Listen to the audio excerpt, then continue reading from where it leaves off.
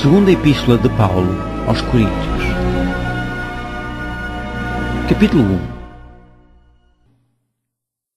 Paulo, apóstolo de Jesus Cristo, pela vontade de Deus, e o irmão Timóteo, à Igreja de Deus que está em Corinto, com todos os santos que estão em toda a Acaia. Graça a vós e paz, da parte de Deus nosso Pai e da do Senhor Jesus Cristo. Bendito seja o Deus e Pai de nosso Senhor Jesus Cristo, o Pai das misericórdias e o Deus de toda a consolação. Que nos consola em toda a nossa tribulação, para que também possamos consolar os que estiverem em alguma tribulação, com a consolação com que nós mesmos somos consolados de Deus.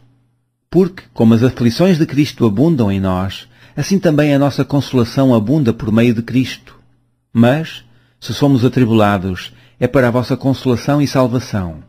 Ou, se somos consolados, para vossa consolação é, a qual se opera suportando com paciência as mesmas aflições que nós também padecemos.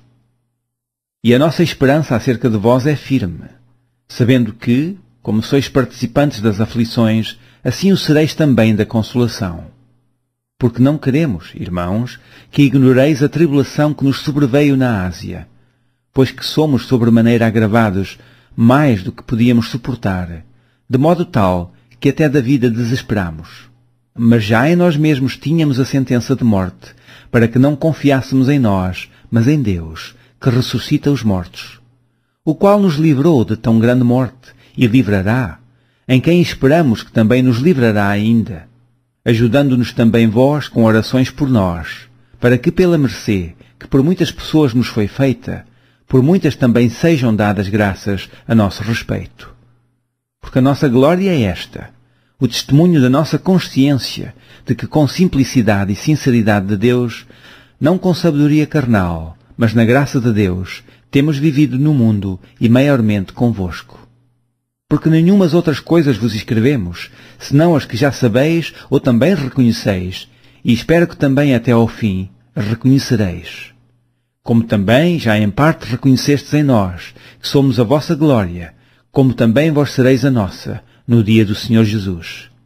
E com esta confiança quis primeiro ir ter convosco, para que tivesseis uma segunda graça, e por vós passar a Macedónia, e da Macedónia ir outra vez ter convosco, e ser guiado por vós à Judeia.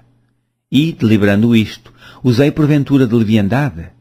Ou o que delibero, o delibero segundo a carne, para que haja em mim sim, sim e não, não?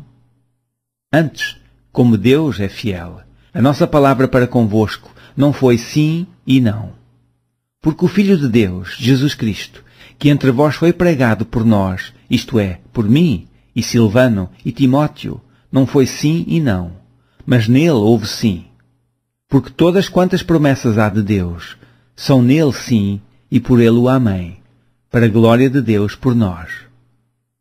Mas o que nos confirma convosco em Cristo e o que nos ungiu é Deus, o qual também nos selou e deu o penhor do Espírito em nossos corações.